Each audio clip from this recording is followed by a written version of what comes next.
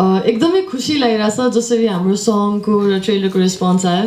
अनि फेरि आज पनि मैले आफै पनि फर्स्ट टाइम हेरेको जुराएको सङ एकदमै त्यो म मुखै बन्द भइरहेको थिएन कि खुसीले। त्यो हाँसेर जिल्लो पऱ्यो हुन्छ नि त बच्चाले त्यो पापा देऊ बबीको उमा गयौँ कि अब त्यहाँ प्रोग्राम गर्नुपर्ने बाह्र बजे। म उठ्छु एक बजे। अनि केटाहरूले ढकढक गरिदिएको रहेछ अनि भाग्दो रहेछ। खुट्टा खाइन्छ भनेर। अनि ढकढक गरेर भागिसकेपछि मिलन सामस अगाडि। सर म लिनु आएको भनेर।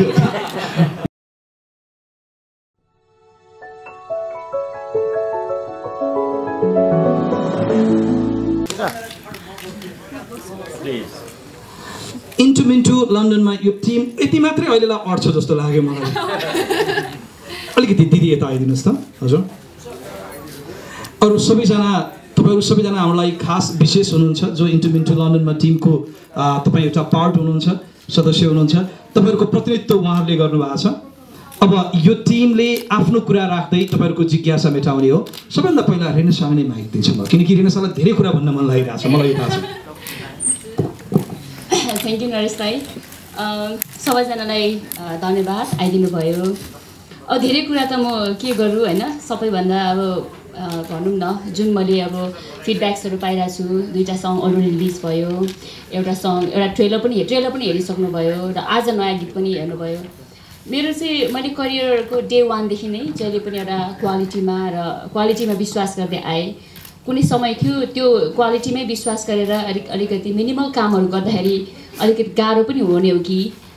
चुजी हुनु अलिकति क्वालिटीमा विश्वास गरेर थोरै कामहरू मात्रै गर्दाखेरि सायद धेरैजनाको मनमा म नअटाउने पो कि भन्ने डर पनि लागिरहेको थियो। तर अहिले आउँदाखेरि जुन यो टेन इयर्स जति भयो मैले इन्डस्ट्रीमा हुन्छ नि आफ्नो काम दिइरहेको छु र त्यसले चाहिँ मलाई अहिले आएर फिल हुन्छ कि जुन अडियन्सको माया र इन्डस्ट्रीको मप्रति हेर्ने एउटा नजर छ जुन मप्रति एउटा एक्सपेक्टेसन्स राख्नु भइरहेछ त्योबाट चाहिँ मलाई अहिले आएर खुसी भयो कि मैले कुनै बेला गरेको डिसिजन सही गरेको रहेछु। होला थोरै काम गरेको छु होला धेरै नगरे पनि जति गरेको छु त्यति सबैजनाको मनमुटुमा बसेको छ। त्यो नै मलाई एकदम सबैभन्दा ठुलो जित लाग्छ। र एज अ डिरेक्टर म अझै पनि म अहिले म आफूलाई डिरेक्टर भन्दा पनि कोरियोग्राफरै भन्न रुचाउँछु। अहिले नै म डिरेक्टर भइसकेको पनि छुइनँ म हुनसक्छु कि भन्ने मेरो एउटा प्रयास हो र त्यो कोसिसलाई चाहिँ भनौँ न मलाई साथ दिनुभयो। सबैभन्दा पहिला त म प्रज्वललाई थ्याङ्क यू भन्न चाहन्छु।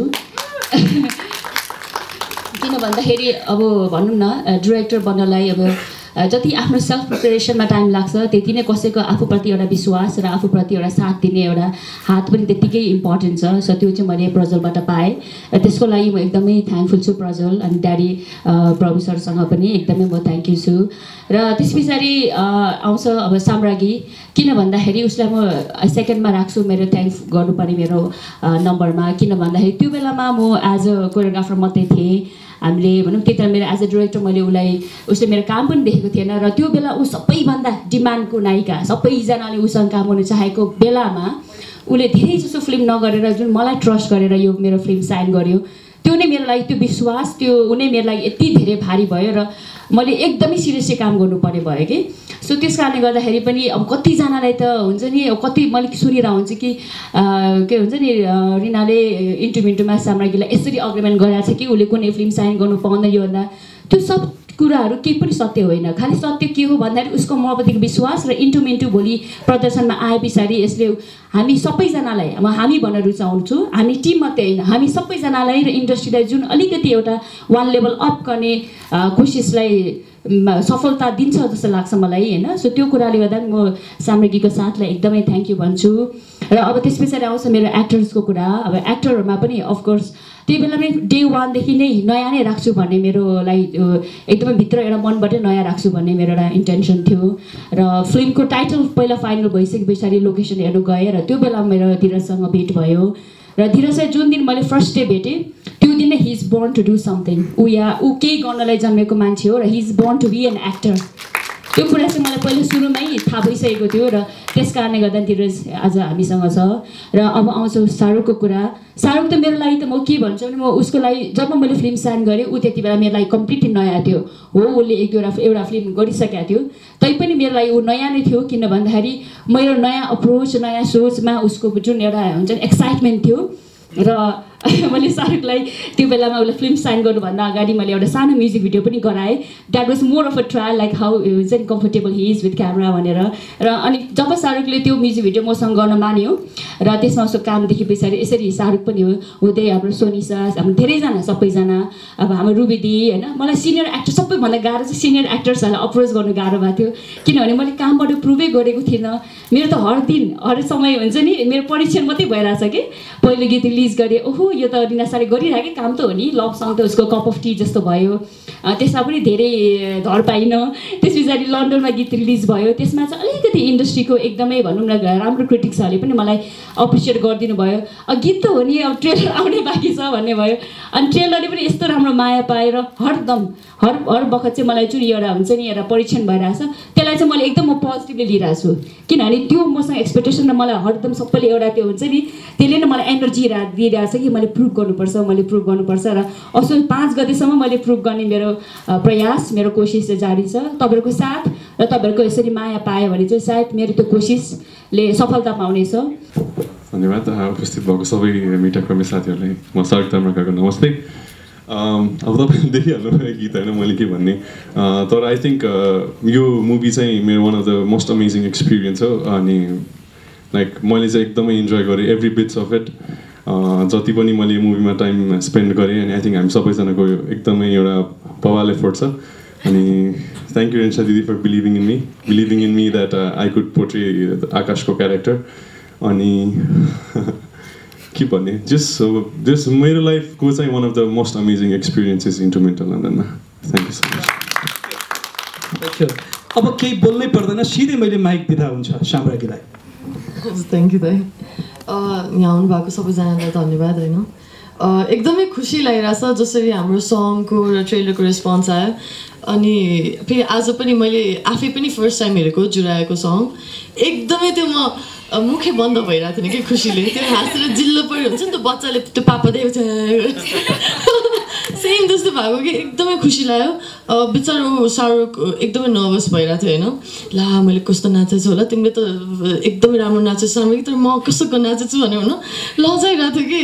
आखिरमा उसको काम पनि कस्तो राम्रो देखाएको छ होइन? हाम्रो पुरै त्यो टिमको एफर्टै त्यो कस्तो मजाले देखाएको छ कि? आइएम सो ग्ल्याड कि होइन? मैले रेना दिदीलाई ए मेरो हजुरको सङको सुट गर्दा उहाँलाई भेटेँ र यो मुभी गर्न जुर्यो।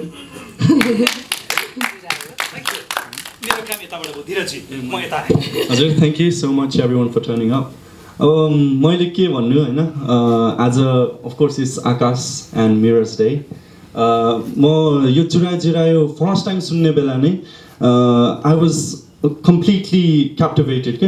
लाइक यहाँ नेपालमा के अरे हिट हुने खालको गाना चाहिँ यो है भनेर मैले सिधै भनिसकेको थिएँ। किनकि यो गाना आइएम हन्ड्रेड पर्सेन्ट ग्यारेन्टी दिन्छु जुन बिहेमा पनि जुन पार्टीमा पनि बज्ने गाना हो यो। सो त्यही भएर पनि एकदमै हिट हुन्छ। अनि हाम्रो राजेश दाई अनि बसन्त बसन्त दाई उहाँहरूले हुन्छ नि एकदमै मेहनत गरेर गानामा काम गरेर यत्तिको राम्रो गाना भएको छ। अनि भिडियो हेरिसक्नुभयो होइन? भिडियोमा पनि यति मेहनत भएछ। हाम्रो सबै टिमको हाम्रो अब उहाँ रेन्सा म्यामले भनेको जस्तो उहाँ के डिजाइन स्वर्णिम दिदीको सबै लिएर हाम्रो हुन्छ नि it's not just one person के? सबैजना टिम एउटा राम्रो काम गरौँ एउटा राम्रो एउटा इन्डस्ट्रीमा एउटा चेन्ज ल्याऊँ भन्ने सोचले नै यो अगाडि बढेर हामीले यति राम्रो काम निकालेको छ। सो आई होप असोज पाँच गते हजुर सबैजनाले साथ दिनु होला धन्यवाद गीत गाउने मान्छे। इन्टिमन इन्टिमिन्टुलनमा तपाईँहरूले ट्रेलर पनि हेरिसक्नुभयो गीत पनि हेरिसक्नुभयो। अब मैले बोल्ने त के हुन्छ र अबले हरेक क्षण हरेक घडी हरेक पल चाहिँ परीक्षाको रूपमा लिइरहेको छु भनेर हेर्नेछ मैले यति मात्र बोल्न चाहेँ। तिमी सफल भइसकेको छौ चलचित्र अत्यन्त सफल भइसकेको छ बाँकी असोज पाँच गते मात्र पर्ने हुन्छ। धीरज त सुपरस्टार मेरो लागि त अब के भन्ने र शाहरुख साम्राज्ञी। साम्राज्ञीसँग यो मेरो दोस्रो सहकार्य हो। पहिले हामीले ए मेरो हजुर टु मा काम गरेको थियौँ र म यति धेरै लकी छु कि नेपाली चलचित्रका अधिकांश नायिकासँग काम गरेको छु। फर्स्ट जेनेरेसनसँग जस्तो करिश्मा मानन्द दिजु मलाई पनि अङ्ग्रेजीमा बोल्न सिकाइदेउनदेखि लिएर निरता सिंहजी विपना थापाजी या सारङ्गा श्रेष्ठजीकै कुरा गरौँ नागबेल नागबेल चुल्ठोले अत्यन्त हिट। लगायत अहिले अब प्रियङ्का कार्की जस्तो झोले झोले नाइन मुल्लो टूबाट सुरुवात भएको यात्रा अत्यन्त सबैसँग आज साम्राज्यसँग काम गरेको छु। म लकचाममा धेरै विश्वास गर्छु। जोसँग काम गरेको छु उहाँहरू हिट हुनुहुन्छ। म हिँड्छु मात्र भनिरहेको छैन। सो त्यो लकचाम चाहिँ लागिरहेको छ। त्यो गीत प्रत्येक आज म जहाँ जहाँ म ज्यादातर एब्रोडमा सोजहरू गर्छु। त्यहाँ उकालीमा जाँदा जाँदा दाहिने पऱ्यो बर गीत गाइनँ भने मैले कुटा खानुपर्ने हुन्छ। अनि त्यति बेला म बिचमा पनि भन्छु यो चाहिँ साम्राज्ञी स्टाइल भन्छु रेनेसाले दिएको छ एउटा अनि रेनेसा भन्ने बित्तिकै अब सबैको नजरमा चाहिने कोरियोग्राफर छ। अनि एउटा म सम्झन्छु म दयाङसँग जीसँग जापान र हङकङको प्रोग्राम भएको थियो अनि त्यो सारे सारे भन्ने गीत दुई तिन दिन लाग्यो अरे। अनि त्यो त्यसको स्टेप चाहिँ यस्तो यस्तो सारे सारे भन्ने अरे।